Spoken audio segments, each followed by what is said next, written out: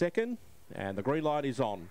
450 metres, the raw ability at stud. Field of five, they're set, ready, racing, flying out wide. Aston Shogun showed great speed, but Power of Mindy has got a lot of clear areas around the outside to take the front. Kraken Rover back to second, and then came Aston Shogun to third. Ben Mayo's in traffic, has to go deep, has got to make up eight or nine lengths, and last was all in Chester, but Power of Mindy is well clear into the straight. It's got a big lead, five or six in front. Kraken Rover trying hard to hold the second, but Power of Mindy wins over Kraken Rover and Ben Mayo has run third. Fourth across was Aston Shogun and all in Chester ended up at the rear 25 and 25 the run. Strong performance by Power of Mindy and breaks through for another win. Eight, nine starts now for three wins and five minor placings.